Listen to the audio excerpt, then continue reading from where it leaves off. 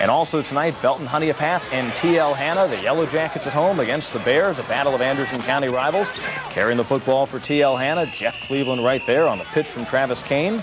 Now later on, BHP is going to go on the O.